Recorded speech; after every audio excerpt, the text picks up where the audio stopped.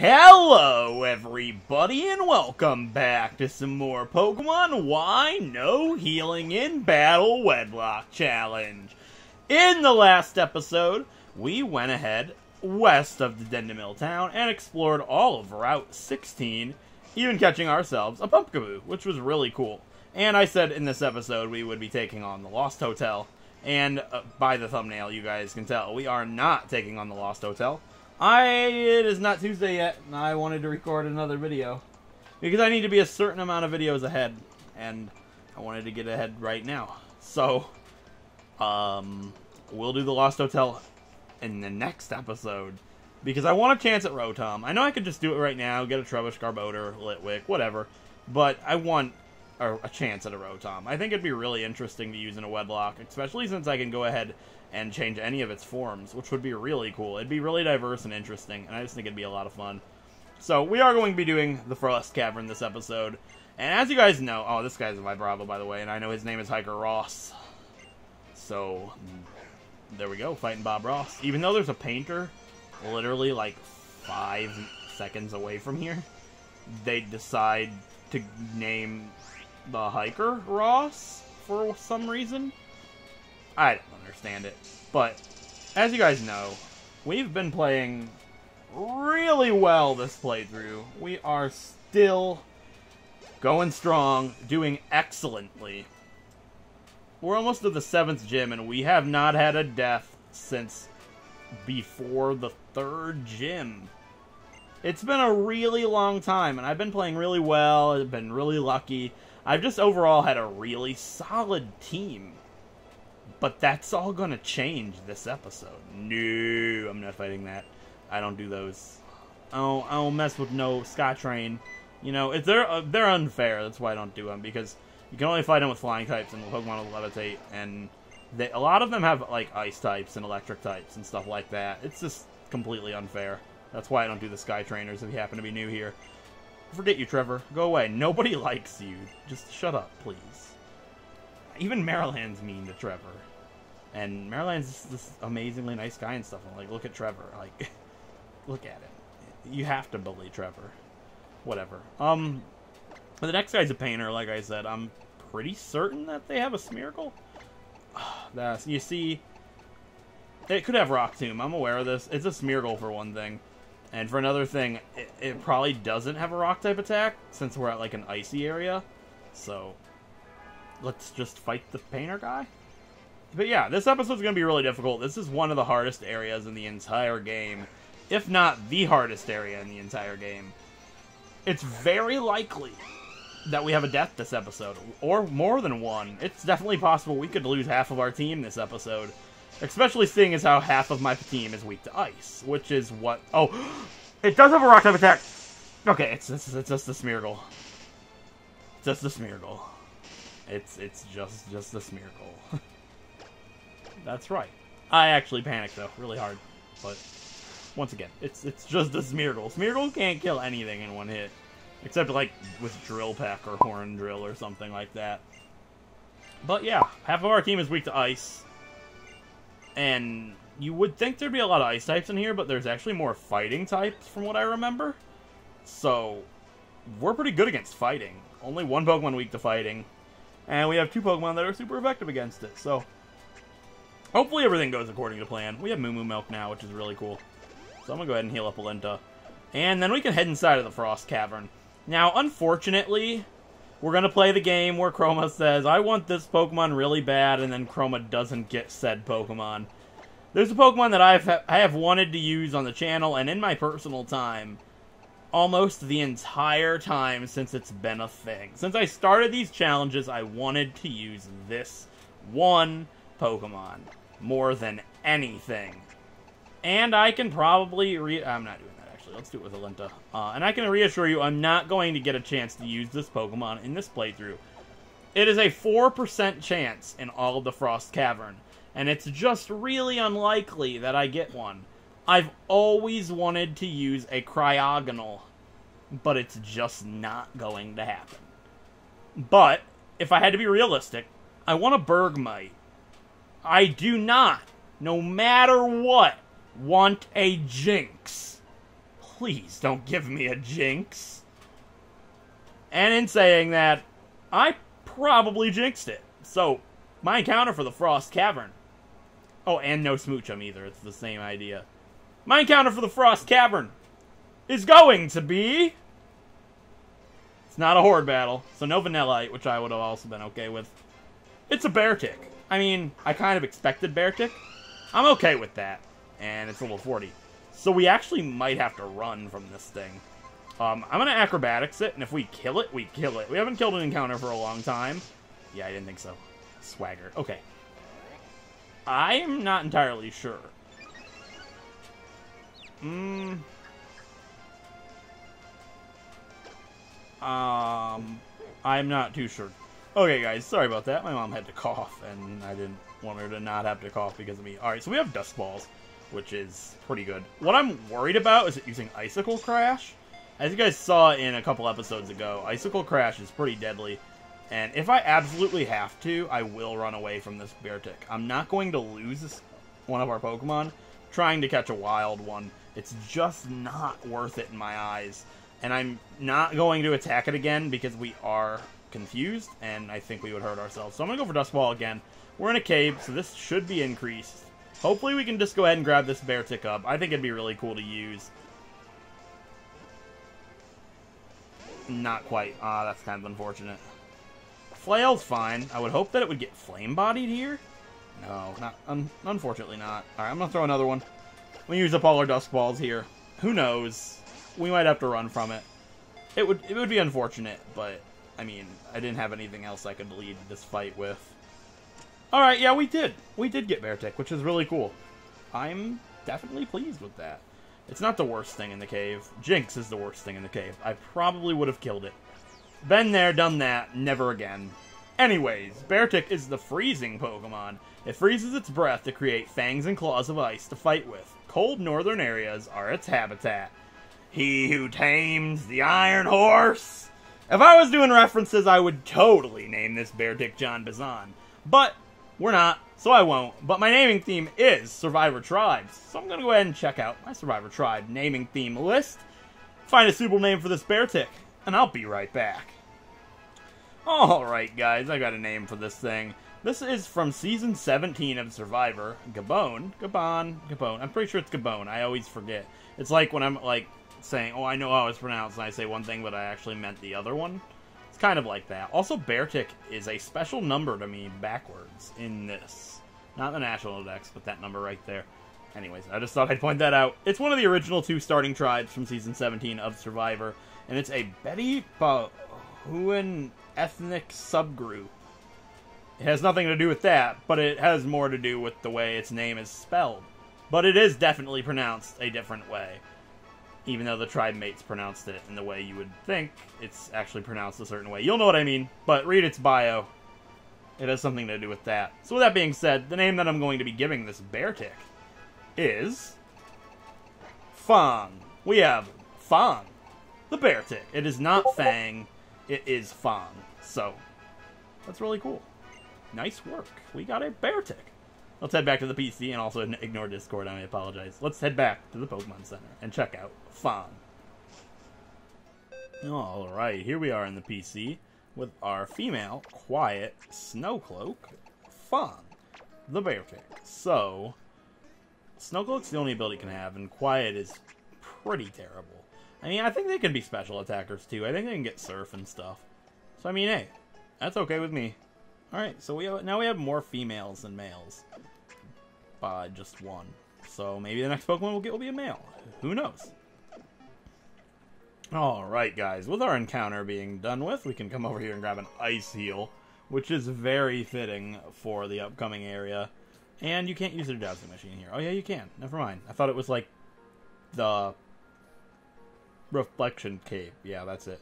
Um, this girl, if you guys aren't aware... Oh, I didn't spray repel. That's right. Uh, shiny Cryogonal? No, just a Beartic. one can dream.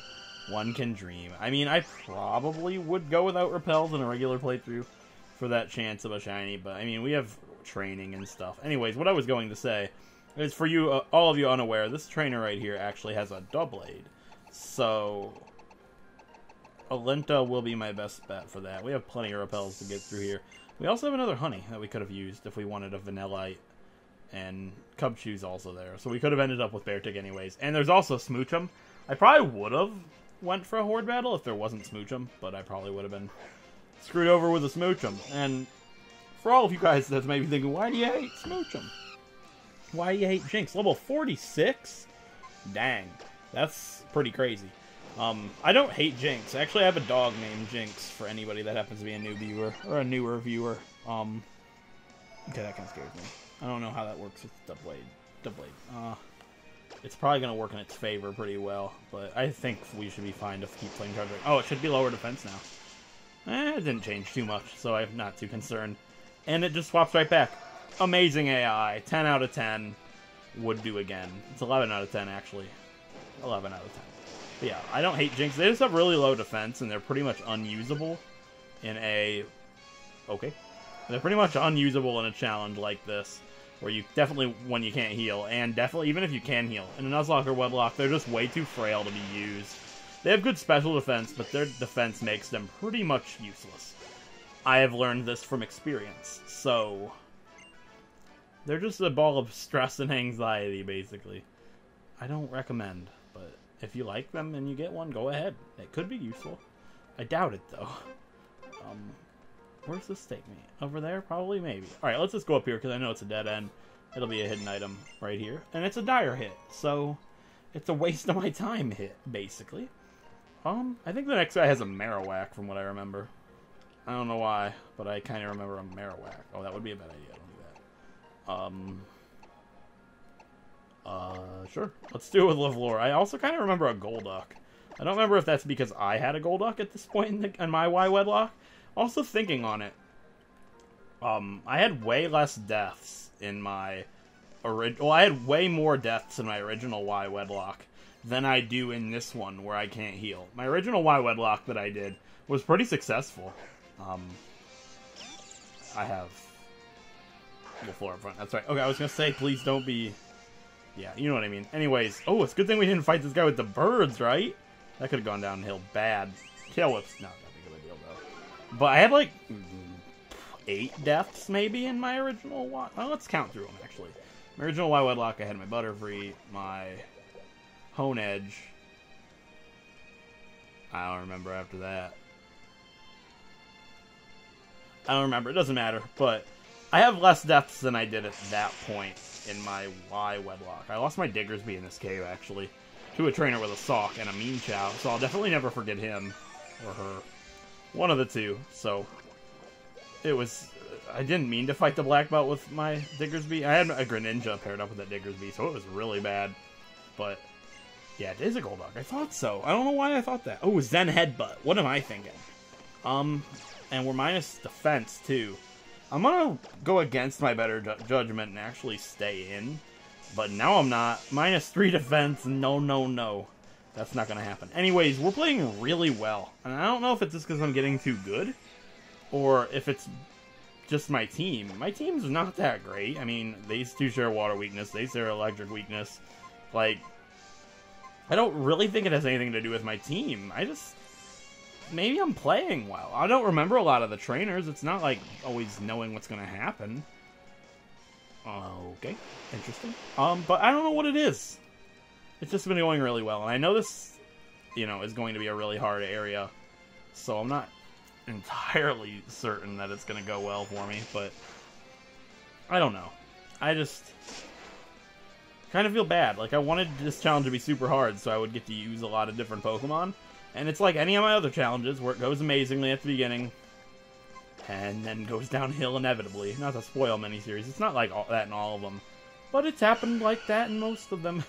so, I don't know. Hopefully, I don't like a lot of deaths all at once, especially towards the end, because it makes it so that team that you've been with the whole game are, is gone, and the Pokemon you add on at the end don't really matter. And I don't want that to be like that. I really don't want to go through that again. I like these these Pokemon a lot. I'm gonna lose anybody. I want to start losing one Pokemon at a time, like here and there, so we can gradually add new people on instead of losing like half my team all at once, if that makes sense. I don't know. I had a Pidgeot. um, in my original Y Wedlocke that made it to the end. I've got one in this playthrough. You know, as Jaburu is the leader, but it's bland, and I, I don't know. Like, I love Jaburu, don't get me wrong. I just like to use different Pokemon, and I'll always be like that. I like to use unique things, so that's just my thought process on it as of right now. But speaking of Pidgeot, um, I have a funny story about um, what happened earlier, which was pretty funny. I'm gonna put Knockem up front actually for this next fight.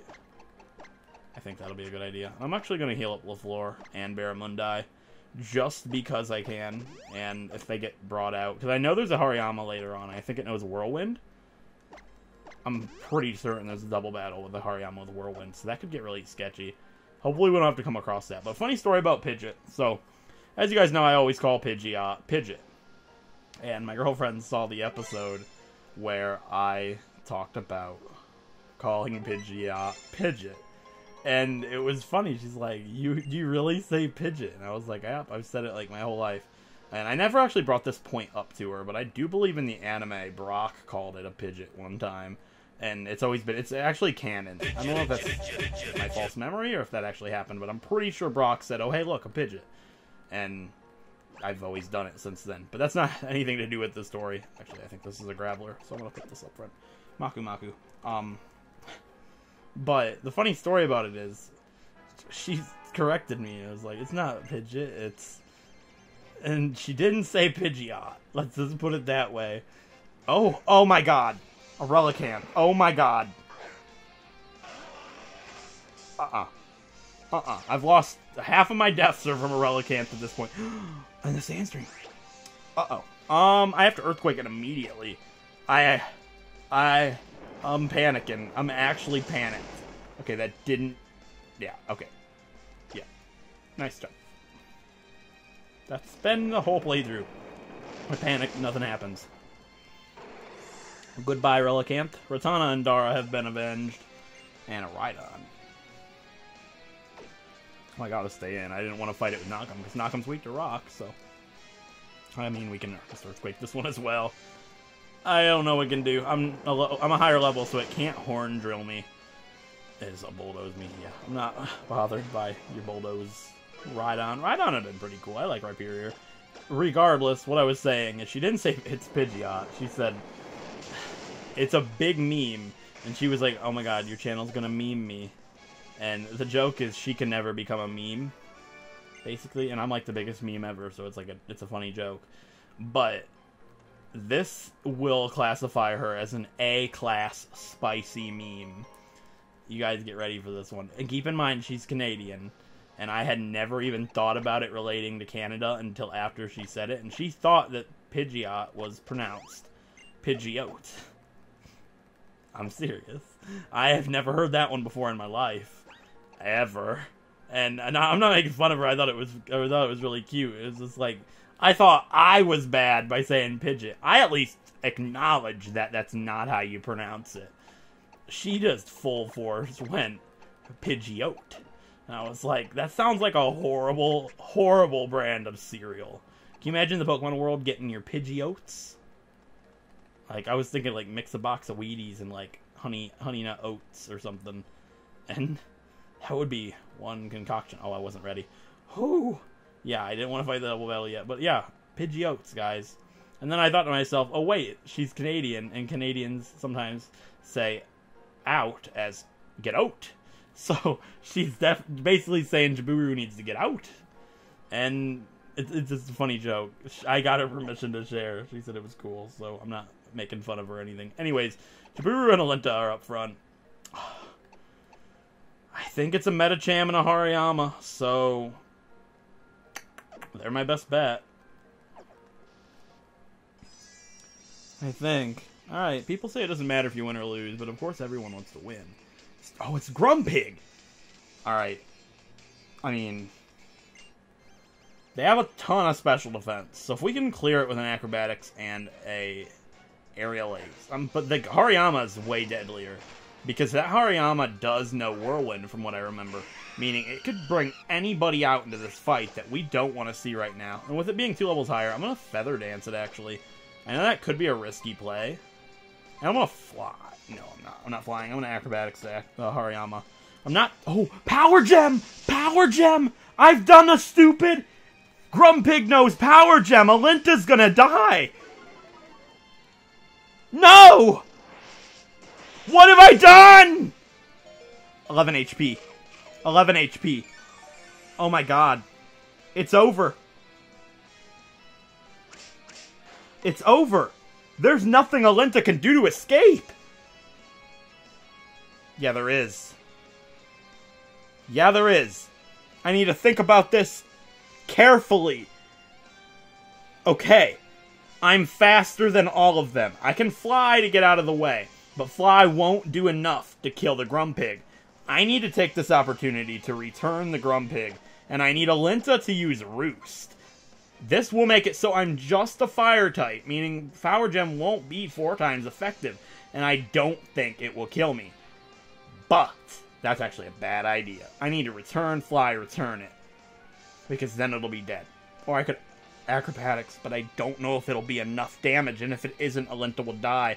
I need to play this turn safe, and I need to fly on Grumpig while Jaburu uses return. We need to take the Grumpig out before it's able to power gem me again.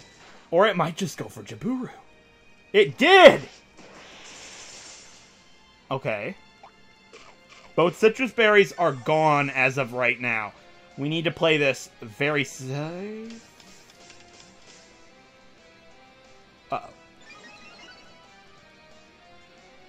Uh-oh. Um... I have to kill the Hariyama. It has to go away. If Fly doesn't take Grumpig out, one of them will die. It's gone. Oh my god. The stressors. The stressors. Whew! That was close. That was most certainly close. Nice work, Alinta and Jaburu. Oh my god, I can't believe these two are still doing so well. The bird duo that everybody thought was going to die so quickly because they're birds and they're weak to rock and electric. They have done outstandingly well together. I'm very surprised and pleased with how they've turned out. Definitely. With that being said, we're going to continue to fight with them because this guy over here has a Throh, I believe. And I'm not fighting that with anything anybody else, so let's take it on. What's this? Are you trying to thwart my attempts at love? Eat this karate chop. Well, I don't think Throh gets karate chop. What does, though?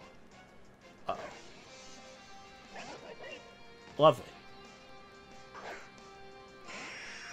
That probably gets Karate Chop. Level 43 as well. I'm gonna Feather Dance it immediately. Oh, the Sitrus Berries! I forgot to give them more Sitrus Berries. High Jump Kick! Oh, God. I can't roost. I have... No. No. Uh, no. I'm acrobaticsing because I don't have the Sitrus Berry. Acrobatics is just my best bet here. High jump kick shouldn't do enough because it's resisted and it's, yeah, minus two. Unless it crit me, but it still wouldn't have done that much. Alright, now I can acrobatics. And that should clear this Scrafty. Not quite. Alright, still going for that high jump kick too, which is interesting. That's that's a crit. No, it's not. Interesting. Um, yeah, I'm gonna acrobatics. Just take it out. I'm pretty sure certain the other Pokemon's Throh, and I don't think they get any rock type of moves except for like wide guard. If wide guard's a rock type attack, it might be. It is a Throh. Alright, I'm gonna stay in. I'm pretty certain they don't get rock type moves. I'm pretty certain they don't get rock type moves. I'm I should have used Roost. It's over. I should have used Roost. Oh my god, Alinta. I did it, Dom. I should have used Roost. That would have been an able. It would have been a feeler. I knew I should have used Roost. They don't get Rock Slide upon level up, and I can prove it right now. That's a TM move. No, that's the wrong thing I wanted to look up. I'm so sad. No way. I could have prevented that. That's my own fault. They the only rock type move they get upon level up is wide guard. I knew it. I should have played it safe anyways. Alinta is dead. No. Man. Sitrus berries didn't matter, and I can take solace in that at least. Well, at least not yet anyways. I'm pretty sure return does more. So I'm gonna go for the return. Oh my god. No. No. Oh god. Does it have like Mach Punch or something? Okay, I'm so glad the Sitrus berries didn't matter. You know, I, it would have been able to take it, and I would have. What would I have done though if I used Roost and Rock Slide wouldn't have killed me? What would have I done? I did make that mistake. Roost. Roost would have made it so I would have survived the rock slide. But what would have I done after that? I wouldn't have. I mean, I could have switched and Feather Dance. Yeah, I could have actually. Probably. I could have switched Roosted and then...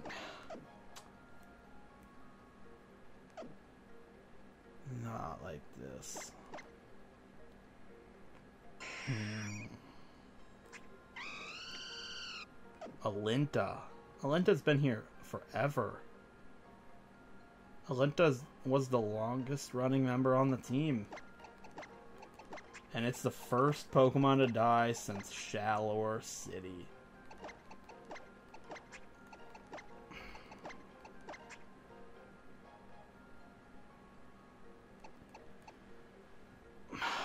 Man, I wish it was Jaburu. I just wish it was Jaburu. I know that's sick to say, but I've used a Pidgeot so many times. I've never gotten the chance to use a Talonflame before. And I that's my fault. It's my fault. I know it's my fault. I could have prevented it. I was certain they didn't have rock type moves, but even though I, I should have still known there's a chance. Test it. I would have taken that rock slide with a roost. Because roost, if you didn't know, does remove your flying type for that turn. Meaning I would have been able to take it. And then I could have planned accordingly. I could have switched, feather danced. That's what I should have done to begin with. This is my fault. And I'm not going to forget the Sitrus berry. I'm going to go put it on right now. Jaburu is the only member left of the original six. Because Alinta is dead. Wow. Well, with that being said, it's time to say goodbye to death number five of the Pokemon Y no healing in battle wedlocke challenge. Say goodbye to Alinta, the Talonflame.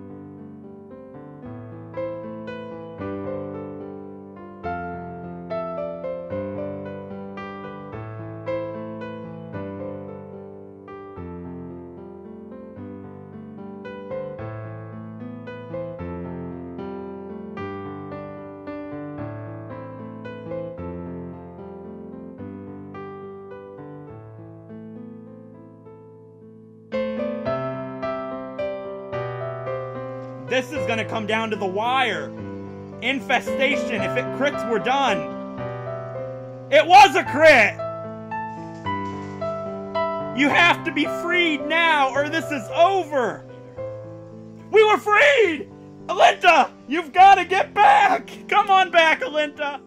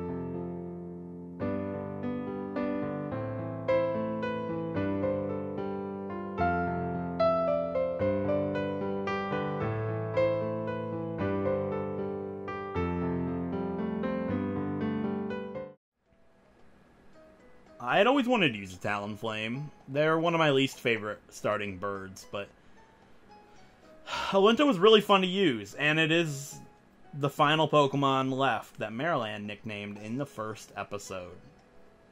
Soliantu and Vanua fell long ago, and Alinta was the next to join their fate. With that being said, it's time to say goodbye to Alinta. Goodbye.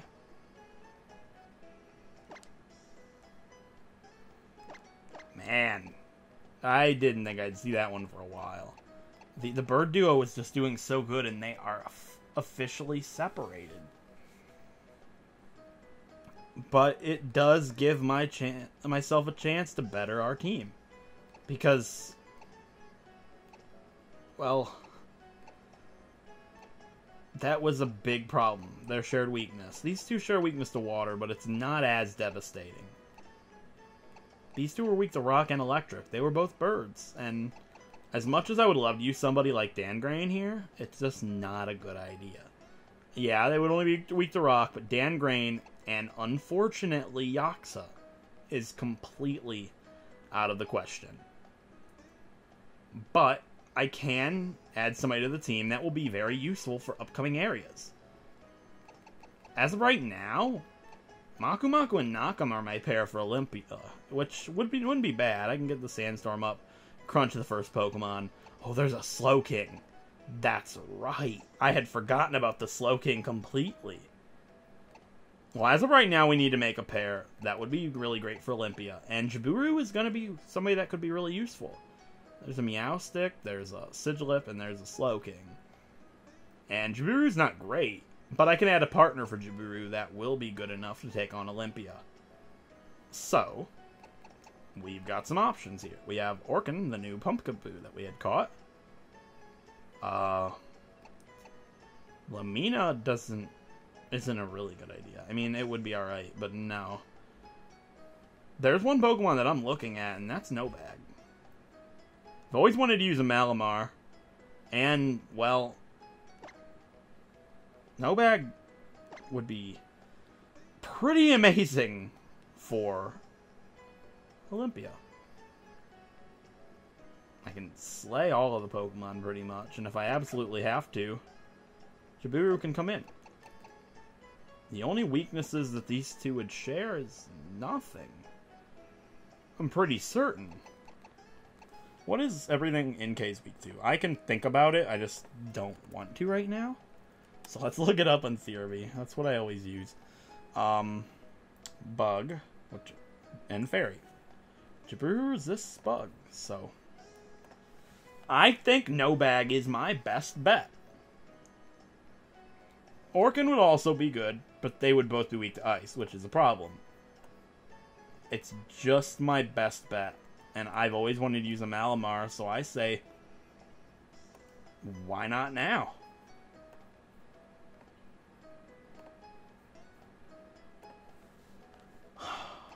Alinta's gone. Would anybody else be a better option? I just don't see anybody else. Can't use any of these guys. They're all males, obviously. So, I am going to go ahead and add No Bag, our Inkay, to the team.